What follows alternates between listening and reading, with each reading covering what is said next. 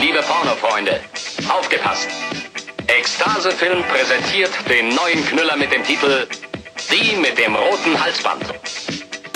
Dieser Film ist eine explosive Porno-Atombombe.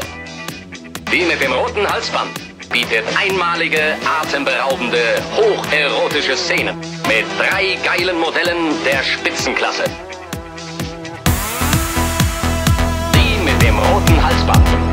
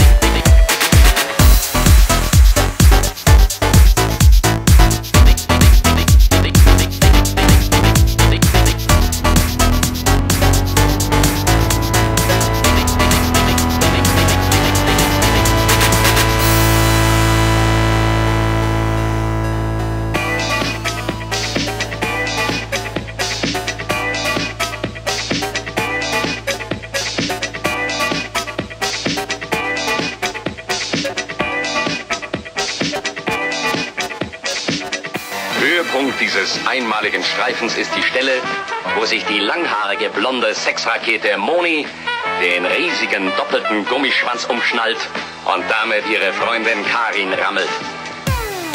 Kein Weg führt vorbei an der Pornoperle, die mit dem roten Halsband.